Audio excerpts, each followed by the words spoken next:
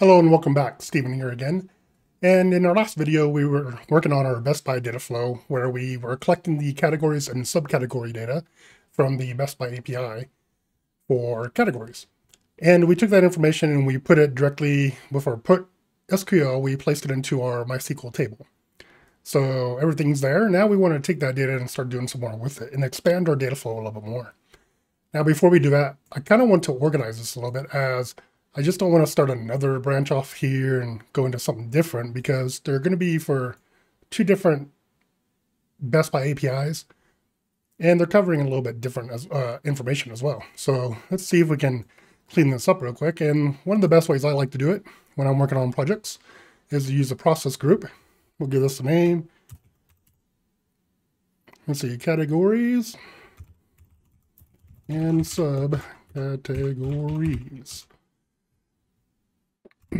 So I want to take everything that we did out here and place it inside of this processor group for categories and subcategories. Uh, it makes it really nice and easy to deal with later, and we can manage them when we're, say, exporting data out into uh, a monitoring application where we want to graph this type of information. Well, being able to select uh, based by category groups for what they're doing and not by individual processors is really nice and easy. Okay, so in order to get them in there, we're going to go to Control A and select all, unselect the group. We're going to copy all this, go inside, paste it, and there we go. We have all of it in here, but we're not done. One thing we need to do now is go ahead and make sure we're not selecting anything. Go over here to the configuration and then add the Best Buy param for the parameter context to this group. Apply that and we're done there. So now we should be able to show that this works. We're not going to place it into anything, so we'll just disable the last part. And we'll go ahead and start everything else. So all the processors are running. Come up here to the top, and we'll create one and get it kicked off. There we go. Start, stop. And everything looks like it's working. Our loop is working correctly. Everything's still getting split. And there we go. So we have our final products getting all the way down to the put SQL, so ready to go to the table. So we know we're doing good there. So now we can go ahead and stop everything. Make sure everything's good. Yep. Empty all the queues. And there we are. So we've successfully moved it into the categories and subcategories processor here. So let's select all, unselect this one, and delete. Unless there's something stopping it. Doesn't look like it. Should have been able to do that. Let's try it again. Select all, unselect. Oh, I just unselected it. Why am I not getting... Oh, because everything's running. okay, all those are stopped now.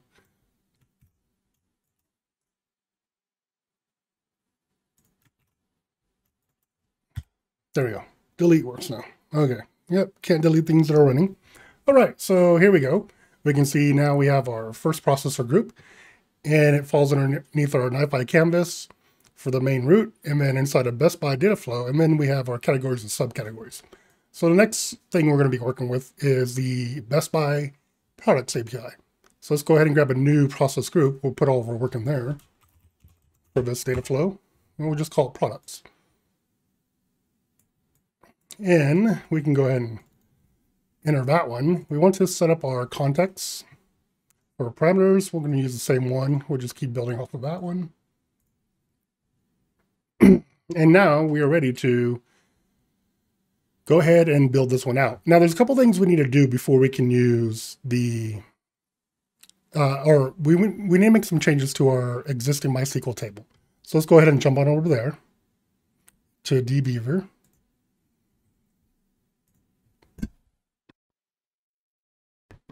And in dbeaver, so my plan here is we're going to take these five specific categories from the entire categories table, and we want to monitor these. And what I want to do is monitor them, monitor them like every 5, 15 minutes or something like that. And what we have is we have our PlayStation 5 category. So there's a category for that. And this is, the, we're going to run this right here. We see when we run this, we get these results down here. And what we have here and what we notice is that, well, we already knew categories ID was duplicated a lot inside the table because of subcategories that we combined with it. Uh, so we're going to want to take these individual category IDs and just get one of each one. So we use a distinct on that when we query from this table. And we want to go and collect all the products from these categories. So that's what we're going to do. And the way we're going to use the API for products is just provide it with the category ID, and it will provide us back all the products that exist in the ID. Now, good thing about that is if new products are added or taken away from the category ID, then we'll automatically get that change and we'll see that change represented. And then we're going to want to set up a loop for we can make sure we get all the correct information for it and also take that data and add it into a database where we can keep track of stuff like we, uh, I know for a fact that PlayStation 5, Xbox X and S series, some GPUs from NVIDIA and AMD, and then some CPUs as well, uh, but not not TVs. There's a couple models that are going to be sold out. So we'll be utilizing and tracking that information as well when we do these polls. Okay, so let's go ahead and get started. Well, one thing we want to do is we don't want to do a select against everything in here, and I don't really want to do a select and have to put a where statement in all the time on categories ID to say what we want. You have to add that. An easier way would be to modify our database table for Best Buy categories and just put a flag in there that indicates which ones we are currently monitoring and not monitoring or tracking. So inside dbeaver, got both ways you can do it, but we'll just quickly double click on it and go ahead and add a new, right click on it and say create new column from dbeaver. We'll say tracking. This will be our tracking. We're going to change the data type to an int and the default is going to be zero. There we go. That's in there, ready to save it. Persist, and it should be good. We check the data, and we can see we have tracking now. Next thing we need to do is update all these columns, or update all these categories that we want to keep monitoring, right? We're just going to do it off of category ID. I don't want to go through and weed out every single subcategory. And honestly, some of these we do want to track for all of them, maybe, so you never know. So in this case, we're just going to do a regular update to Best Buy, category, set, and then we're going to set the tracking goals one, where category ID in, and we'll just copy from here because we already have it available to us. And now we're ready to run it. And now we can test this.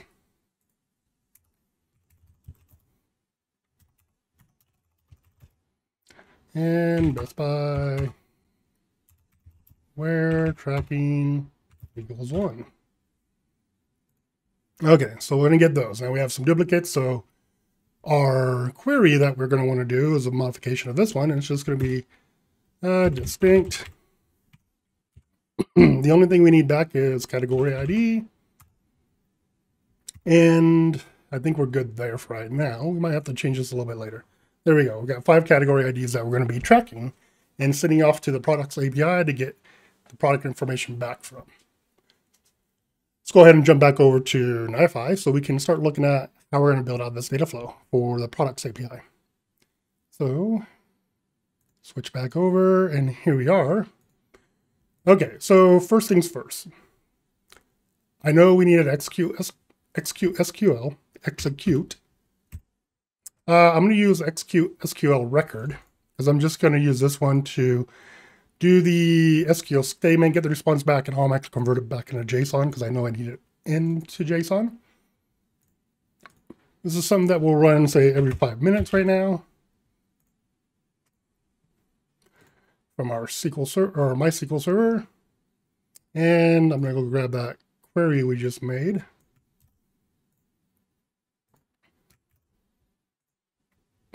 there we go. So our select distinct, that gives us our five categories back and only give us the things that we're tracking. So it's much easier to manage because we just have to turn off and on categories that we're no longer tracking. From here, we do want to output each one of these into an individual flow file. That way we can work with them because we're going to have to make some changes and deal with the loop problem again. And our record writer, I already have one set up at the root level for just a basic JSON writer. So we'll select that one. Matter of fact, we'll just take a peek at it, make sure there's nothing different about it. And we can see it just it's just basic. Inherit the schema, don't do anything special. And the only thing set up for is grouping. Instead of being set, I think defaults to array, it's set to one line per object. Uh, makes it easier to deal with some other, depending on where you're trying to set it. So there we go. That one's nice and easy. We'll go back into our data flow and back to the products. And here we are. So this is going to be our, rename it, get tracked, get track categories. Scheduling's good. We're good there. We should be fine. now, the next thing I know I want to do is when this comes in, I want to evaluate on the JSON uh, responses we have and convert the category ID into a attribute so we can pass it into the API. So we know we're going to be going to evaluate JSON path will be our next one. Feed there. And we can go ahead and we can route the failure back onto itself. Actually, we'll just terminate it for right now. Terminate. There we go. Okay, so that one's terminated. Now, we can test this out real quick. There we go. There's our five categories. Take a peek at one of them. There we go. Just something simple. Categories ID. And then that'll become an attribute. Now we know we're going to pass this into the products API. So we've already built this before. So why waste time trying to build it again? Let's go back out one, go back to categories and go up to the top of this. So just like we're doing with the generate here, we don't need that step because we already have an execute going into the eval that'll pass it on. So we have something passing it on into the invoke. Let's check out our generate though. What are we doing here? So we're creating a attribute, right? We're setting the current page to default to one because it's required uh, based off how we built the API uh, request. So we're going to want to handle for that as well on ours, but we're not going to use a generate to do it. But we are going to take some pieces from here. So we're going to copy the invoke categories API and grab the entire loop and the route. There we go. Control C to copy, go back one, go back to products, paste it in here, move it to the side. So we, oops, still selecting everything. Okay, so our invoke is going to be what we take in next. We're going to grab those matches, terminate our other relationships. All right, now we did say current page was an issue, right? So we need to handle for current page. And there's an easy way to do that. Uh, we can't do it inside the eval, right? So we can actually modify our select statement here and make it so it returns a placeholder for us here. And this is going to be one as current page. There we go. So now we have that, which we can evaluate on now. And the evaluation is going to be, well, we haven't added our evaluations yet. So let's go ahead and do that. So we need categories ID. We're going to send these into the attributes. Category ID is the name we're going to give it. There's the value we want it to get. And then the next one is current page. And we'll have it pick up the current page. Ooh. All right, so there's our two attributes we're going to create. Now we need to modify the invoke and change it over to utilize the uh, products API base URL that we actually added to our uh, parameters context before. So we need to go ahead and make those changes. Let's go ahead and go inside that one. Well, first of all, let's confirm that this eval is working correctly. Passed everything through.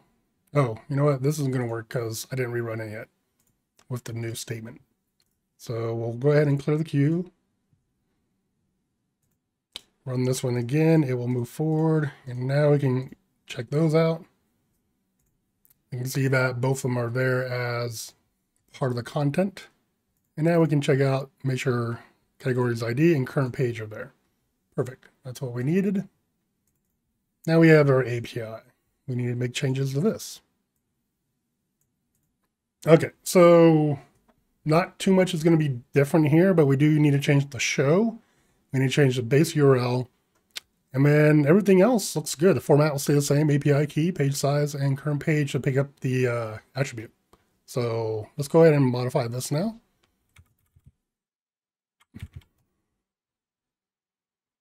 And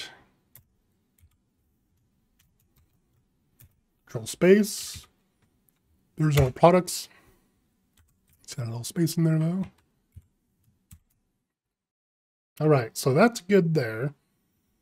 Uh, we got the, okay, so there's something a little bit different. Let me grab an example of what it, what we need to account for. Okay, so, oh, didn't mean to quit out of there.